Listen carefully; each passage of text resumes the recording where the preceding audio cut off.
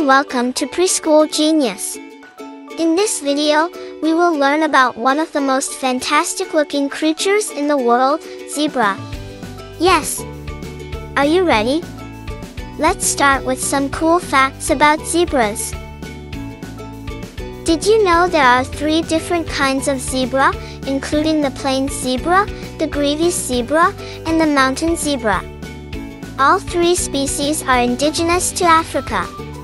The plains zebra, which inhabits the grasslands and woodlands of eastern and southern Africa, is the most common species. The grevy's zebra may be found in Kenya and Ethiopia's arid, semi-desert regions. The mountain zebra can be found in Namibia, Angola, and South Africa's mountainous and hilly areas. Zebra, who are closely related to horses, have long necks and heads with short mane, narrow legs, tufted tails, and heavy bodies. And can you guess what their most notable feature is? Of course, their gorgeous coat with white and black stripes. So why do zebras have stripes? Well, scientists aren't entirely sure. Perhaps their stripes are used to frighten and mislead predators and biting insects or to regulate body temperature. Additionally, their stripes may have a social function by allowing zebras to recognize one another. Each zebra has its own unique pattern of distinctive stripes, and no two zebras ever have the same two stripes, just like our fingerprints. These fascinating animals are herbivores and spend most of the day eating grass and occasionally leaves, bushes, twigs, and bark.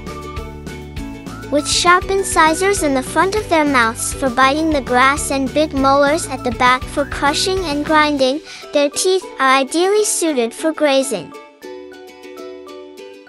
Zebras also continually search for new grass to eat and fresh water to drink. They'll travel thousands of kilometers in search of green pastures where they can fill their bellies and quench their thirst. Amazing! Did they ever get tired?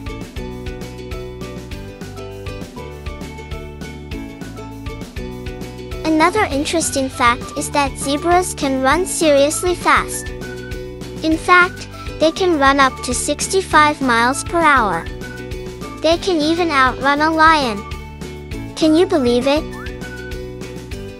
Zebras are very swift because they need to run from some of the most dangerous predators in the world, including lions and cheetah. As social animals, zebras tend to stick together in smaller family groupings within a herd. Families generally consist of a male, several females, and young zebras. Zebra herds can grow to be thousands of animals when they migrate to find new feeding grounds. On their journeys, they could cooperate with other grazers like antelope and wildebeest. Their strong social bonds also help to protect zebras from predators.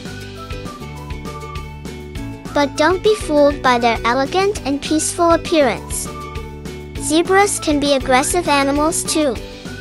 They may kill other creatures and inflict significant injury with their powerful kicks and piercing bites, which they utilize to battle with ferocity. When under threat, these fantastic animals form a semicircle facing the attacker and prepare to strike if necessary. And if one in the group is hurt or injured, the other zebras will circle around and try to drive off the predator. All for one and one for all. Another funny thing is zebras groom one another. Don't worry if two zebras appear to be biting each other when they are standing near one another, because actually they're pulling loose hairs off each other as they groom. The zebra enjoys being groomed because it feels wonderful to have an itch wiped. As a whole, zebras are not endangered, since the natural habitat for zebras has mainly been preserved and they are not universally a primary target of poaching, these creatures have been able to maintain a sizable population. But we still need to be cautious because habitat loss and agricultural practices can threaten zebras' population. That's it. I hope you enjoyed learning about zebras with me today. Thanks for watching, see you in the next video. Bye.